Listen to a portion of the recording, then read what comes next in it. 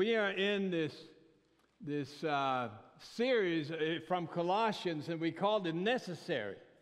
Um, and so today we're going to finish that up, and, and uh, so that means that we're not going to go to the very end uh, of, uh, of the book, right? Uh, but we are going to read from chapter 3 today on necessary focus. And one of the things we have mentioned, of course, is that Paul speaks here in Colossians.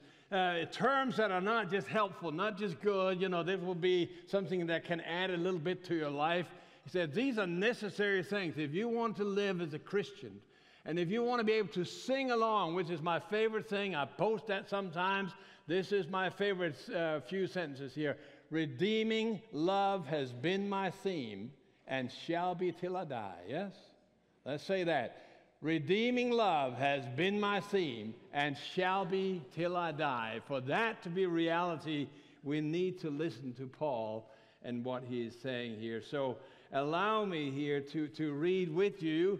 Uh, if you have your Bible, it's Colossians chapter 3, the first 11 verses.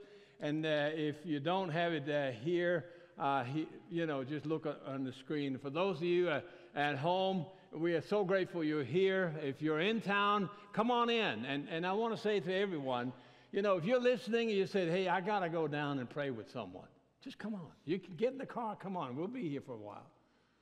And those of you who are in the pew, if you're in the middle of something, said, hey, I need to just spend some time praying now. We're church friends, right? There's an altar here. Well, I don't know, but there's some steps here, right? And, and uh, just come on down, right? This is a spiritual place that we want God to work. The most important thing is not what I say, it's not the song you pray, I mean, you sing, it's not necessarily uh, who you think is, you are yourself, it is what God is doing in your heart, yes? And that can happen right here, right now. So let's read. Paul begins with a kind of a phrase that I would like to translate since. I think that's actually a much better translation. Many translations are doing this, but in this here it says, so if. But since, since you have been raised with Christ, seek the things above, where Christ is seated at the right hand of God. Set your minds on the things above, not on earthly things. For you died, and your life is hidden with Christ. When Christ, who is, when Christ, who is your life, appears, then you also will appear with him in glory. Therefore, put to death what belongs to your earthly nature sexual immorality, impurity, lust, evil desire, and greed, which is idolatry. Because of these, God's wrath is coming upon the disobedient, and you once walked in these things when you were living in them. But now, put away all the following anger, wrath, malice, slander, filthy language from your mouth. Do not lie to one another, since you have put off your old self with its practices and have put on the new self. You are being renewed in knowledge according to the image of your Creator. In Christ, there is not Greek and Jew, circumcision and uncircumcision, barbarian, Scythian, slave, or free, but Christ is all in all. And may I say before I did dive into this text also, since we are in this 4th of July week, you know, we, we need to kind of be very clear uh, on these things, right? We are so grateful that God has given us a nation like we have and a place to live like we have. But don't confuse that with freedom. The freedom to do and say and just do whatever you jolly well please is not Christian freedom, yes?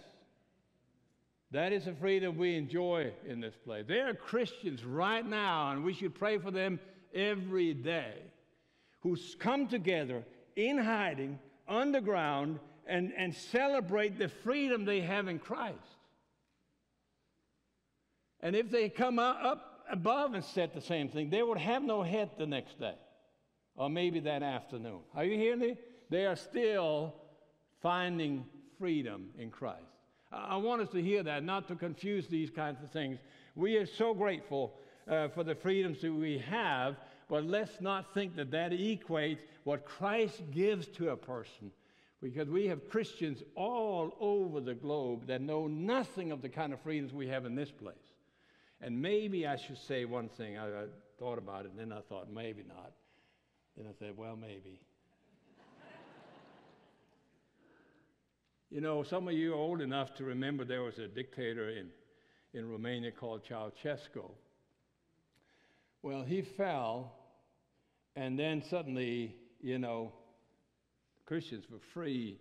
I had a Baptist leader come up and to speak to us about that. I was overseas at the time. And he said, and I had to translate it. Was not hard. It was my church. Yeah?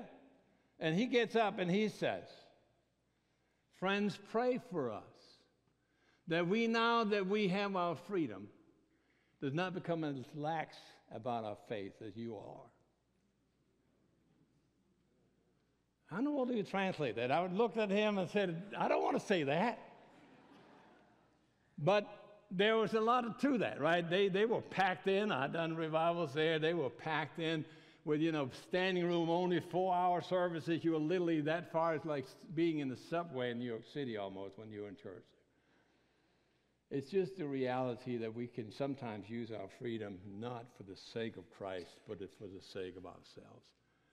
And we need to kind of listen to Paul when he says here, there's a necessary focus that comes with this. And the words here are strong, and I need to be careful uh, that I don't spend too much time, but there's so much wealth and richness in this text. Uh, when you start looking at this and just begin to see here, he says, strive for this, right? So seek the things above. And that word is one of these strong kind of words that can be translated seek, can be translated uh, you know, yearn for, focus on, uh, give yourself to, surrender to, strive for. It is one of these very, very kind of strong words. And I thought about, uh, you know, what would the Danish word be? And the Danish word actually plays on that word funnel. It's kind of a, the word funnel that is turned into a verb in a, in a way. Um, and so, funnel after, if you think about that for just a second, uh, you see what does a funnel do? It kind of it collects all your thought and focuses it all in one direction. That's really what Paul is after right here. That we want to focus our minds, our hearts, our efforts, our life in one direction. It's, it's not just a, a good thing to focus, it's a necessary thing to focus. And I want to say this also. Those of you who are into photography, you may know this a little bit, right? If, if you want to really focus on something, you do a very low depths in the photography, right? So what do you have? Like a portrait, you pull that out, and the things around becomes strangely dim. Oh, yeah? Remember that? And that is what, what you do when you, when you see something that is truly in focus, then the things around are not quite as focused in on. And I think that is exactly what Paul is trying to do right here. Think about verse 2, right? Set your minds upon, focus on the things above. That's where you attach your attention. That is where you fasten your focus, if you will. That is where you direct your drive. All of who you are needs to come from this one point, be fed by the direction that comes from above. And if you read all of all of the uh, letter to the Colossians, you will see somewhat of a clear distinction here, or shift, if you will. The first two chapters, we've dealt with them somewhat in detail, uh, and we saw how Paul is just grinding down and making sure they understand that Christ is fully sufficient for all things in life. And so, if that's the case, then therefore, since that is the case, so chapter 3 now switches and begins now to apply. The first reality is this Christ is fully sufficient. This is who he is. Therefore, live like this. And if you study the Bible a little bit, especially uh, Paul, uh, you will notice that that is kind of the way he always argues. He is not like the parent who just says, do this, and the kids say, why? Say, well, and you have no argument because it's a dumb thing you're asking to do. So you just say, because I told you so.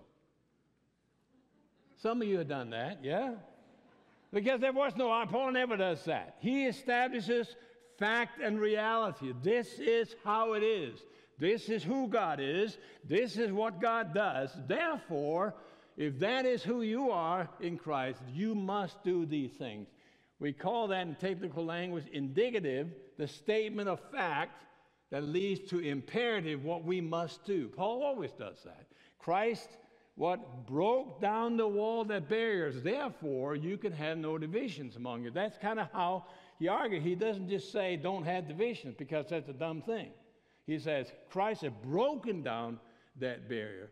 Therefore, you can have no division, because that would no longer illustrate who Christ is.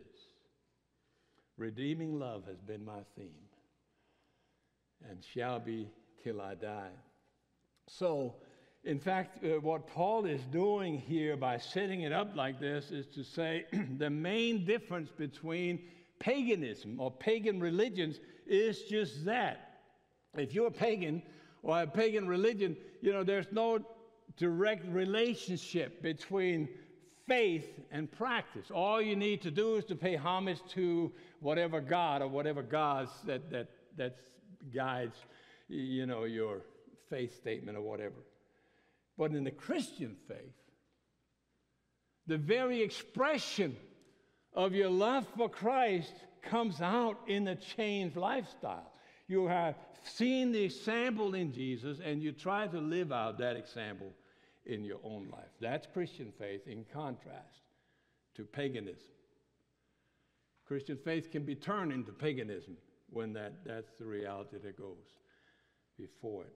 So look here and look at these things that he's saying.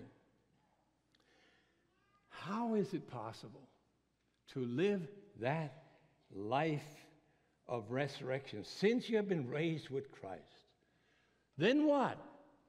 What is the reality here? How is it possible even to live a life that is characterized by victory over misery and sin and pain and evil? How? Well, you got to focus. There's a necessary focus. Focus on what? To the things that come from above. Jesus says it this way He says, Because I live, you shall live. And here Paul says, since you have been raised, this is how you live. That is the very quality of what we see here. When the Bible speaks about eternal life, it's not just about a life that is once to come, it's about a life that begins already now that has a certain quality, there's a quantity to it, it never ends, and there's a quality to it that looks in a certain kind of way. In fact, it is exemplified by Christ. Can I say this to you also? When we speak about life, there's sometimes people use that as a mere antonym or the, a word to express the opposite of death. But life in the biblical sense is so much more than the opposite of death. Life happens. For example, when you see kids playing and they're jumping around and they are laughing their hearts out and they're just having the best time and they run up to you and, and the eyes are sparkling and they try to get words out because they want to say them so fast to explain how good a time they have. That's life in that kind of biblical sense. Life is what happens when teenagers get together and they, they, they listen to the music they really love. They talk about, you know, a fast car, cool motorbikes, or, or hot guys, or, you know, whatever uh, they, may, they may talk about here. That is what happens. But it is also what happens when Paul says, Friends, for me to live is Christ. The very definition of life for me is Christ. It is so much more than the opposite of death. Life is put in motion, if you will. Life is, is happening when excitement and joy kind of overflows, when you feel adrenaline kind of rush through your body and it, it gives you a new power to see things in a new light and energy to do things in a new way. Set your mind on the things above. Are we hearing this? I'm not just speaking, am I? You're hearing this. This is what happens here, right? To surrender your life to Christ is to die to yourself so that new life can come in, new adrenaline, if you will, will come in and reinvigorate everything about you. There was the old church father from the fourth century, St. Augustine, who said, If Christ does not get it all, he's not really getting anything. Or you may say, if he's not Lord of all, he's not Lord at all. You know, I realize that a lot of people are saying, you know, you can't just be so heavenly minded that, that we're no earthly good.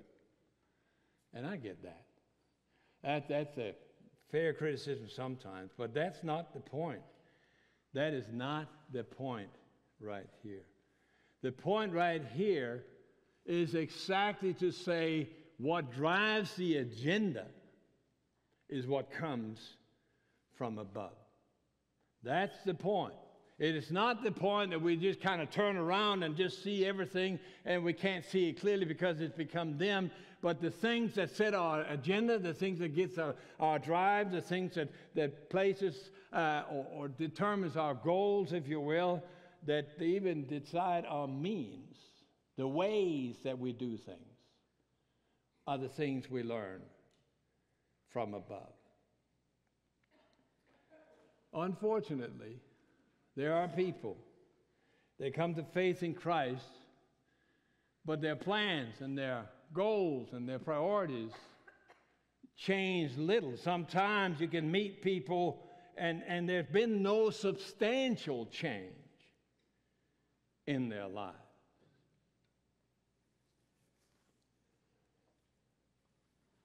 When that happens,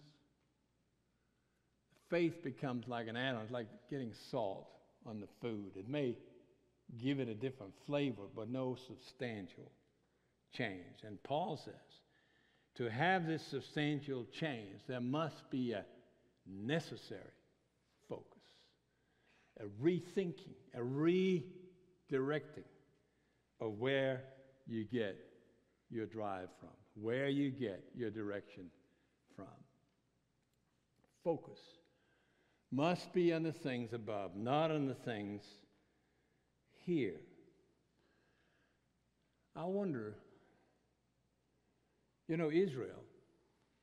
Some of you remember that, some of you uh, don't, and if you don't, just then that's fair enough. Then, then uh, if you're new to faith, just read the book of Exodus. Israel came out of Egypt. God, by mighty hand, opened the waters, led them into the desert, and then let them walk to the promised land. And it took about 18 months. That's all it took. Maybe even less than that, but probably about 18 months. Most scholars agree with that. About 18 months to walk to the promised land. And then they got there, and they decided not to go in. And so they had to turn back. And now they're walking 40 years around the desert until that whole generation, everyone 20 or older, had died out. The only two left, as far as we know from Scripture at least, is Joshua and Caleb. And then they come in, and you ask, what's the difference between Joshua and Caleb and all the others, even Moses? Well, Joshua and Caleb, uh, Caleb never lost their focus. They knew God had given a promise, they knew He would fulfill it, and they said, We can go in. When everybody says, Let's not. And so their hearts and their thoughts were set on the things above, and that changed everything in the way they did things here. That, friends, is God's word right here. Necessary focus. And then comes, and I'm just going to spend a minute on this, a kind of a, a negative word, uh, some would say, right? Therefore, verse 5 put to death what belongs to your early, to your earthly nature. Put to death. You know, they're kind of negative. Some people are saying that, and, and I, I think that that can be uh, true also. They say, just don't speak about these negative things, right? Just speak about the positive things. Talk about God's grace. You know, negative truths might come out. I mean, negative uh, warnings may come out of positive truths. And I see that. But that's not the whole truth. Right? You know, a beautiful garden does not come just by speaking about beautiful flowers. There are some weeds that must be pulled. That's just the reality of it. When you, when you look at some of these things, there are some things that must be pulled away. And that's why, why Paul is highlighting both. He strive for the things above and put to death. They're both active, delivered words, the things that really belong to this earth that, that grows in the soil that is not from God. That, that's the point he is making. And we all find ourselves in, in difficult situations, every last one of us. It, it's just part of life. Again and again, we are confronted with the temptation to let the loyalty of Christ somewhat, uh, loyalty toward Christ somewhat uh, fall on the side, compromise. And again and again,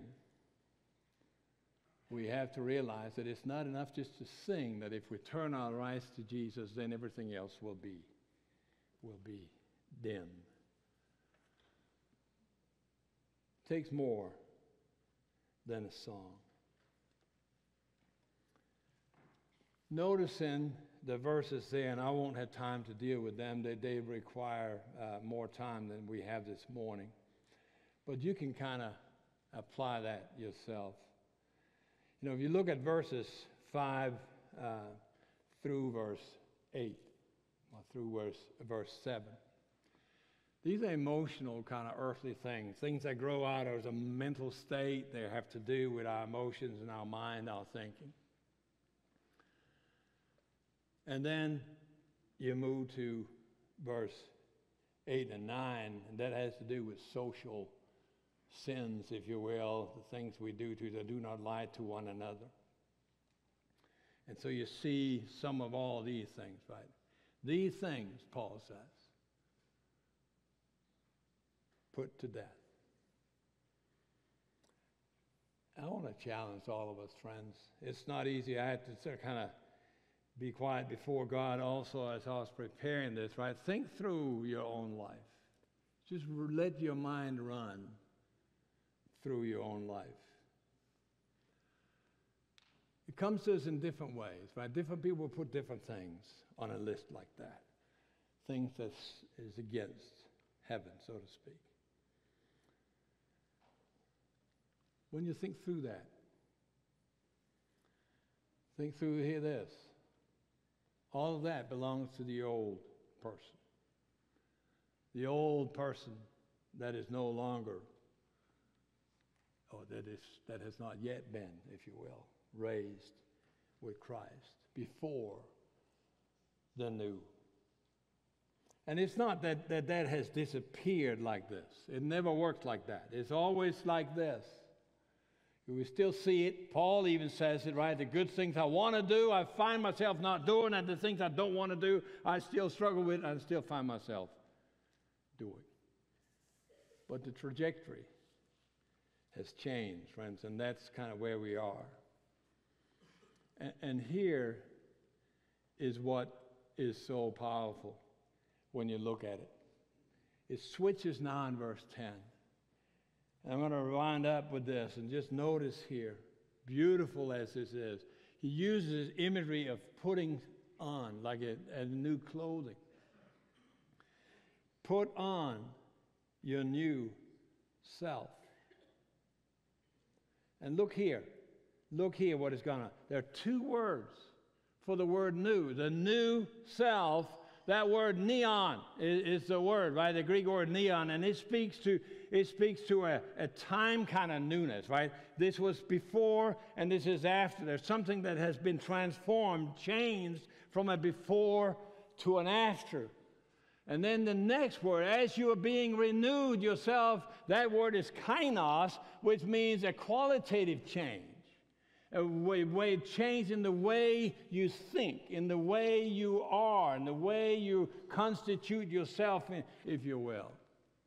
So both are, are here. There's a before and an after, and, and the renewal is not just that this has changed because time has gone, but there is a qualitative change that comes with that. And friends, that is true for you as an individual, and that is true for us as a church, and that is true also for us as a church in a period of transition. Something fresh, something different is going to happen and it has been caused by Christ, and it is happening as we focus on what is above. So let me end by one sentence here, a few sentences here, just say that we were formed as human beings in the image of Christ. Then we became deformed by sin. All the things that were listed in these verses that we somewhat just mentioned in passing. And now, Christ is reaching out his hand. And he offers to us that we can be transformed by his Spirit and then be reformed in God's image. Did we get this? We were formed from the beginning in the image of God. Our own selfishness and rebellion deformed us from that image.